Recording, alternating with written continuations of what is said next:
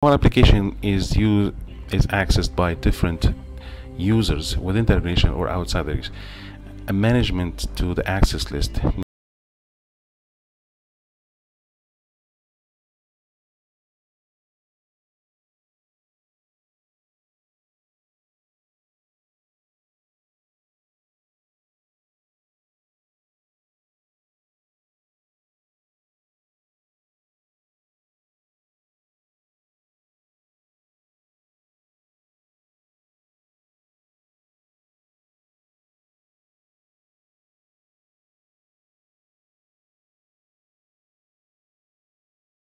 sensor management interface. A sensor management interface present you all the sensors listed in the system or add new sensors according to the needs. In this example, we'll be editing an existing sensors to show how to configure your user's information.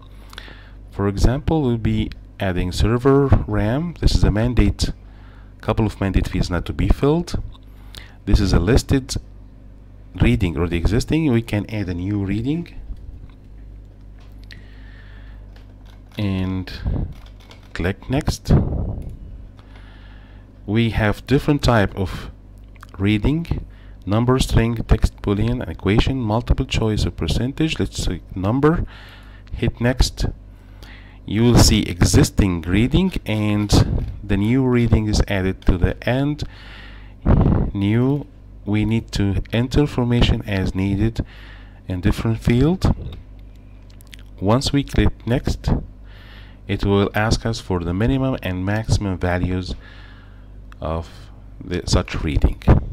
Once you click update the system is updated with the new sensor. Thank you